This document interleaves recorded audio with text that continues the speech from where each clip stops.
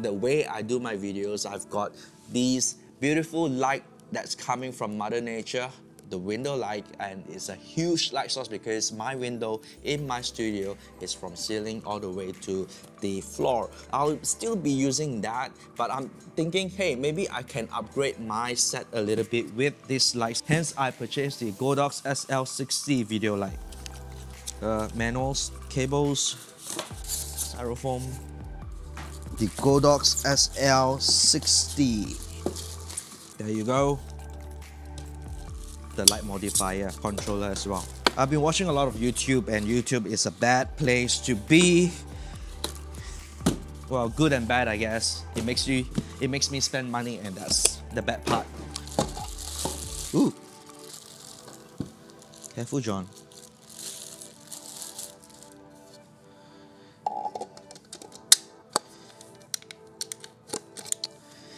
Okay, that's the Bowen mount.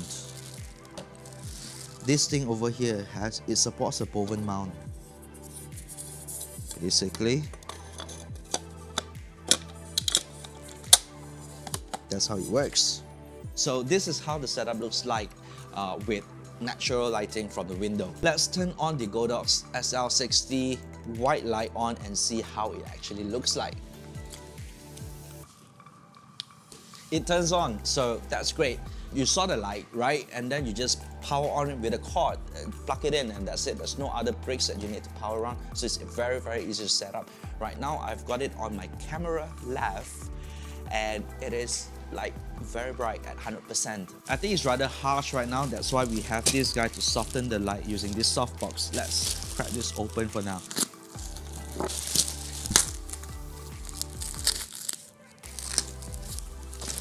I wonder how difficult is it to set this up. Okay, how does this work?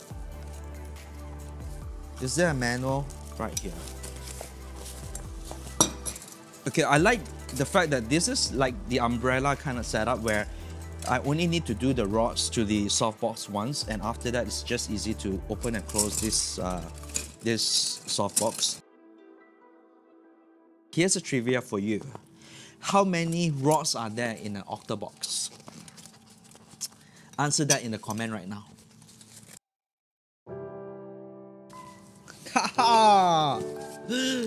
nice, easy.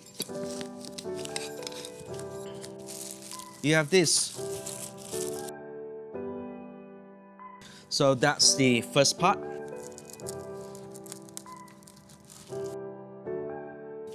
Okay, I've got the soft box done up. This octabox is 80 centimeter. It's rather huge, right? Hopefully, it will soften up these lights uh, a lot more. Let's put it on and swap up in three, two, one. And I'm back. So I've changed things up a little bit. I've got the 16 millimeter lens with the f2.4. It's a faster lens. When I do this, and when the focus or when I come nearer, it throws the background totally off. Um, yeah, so a little bit of 3D and all.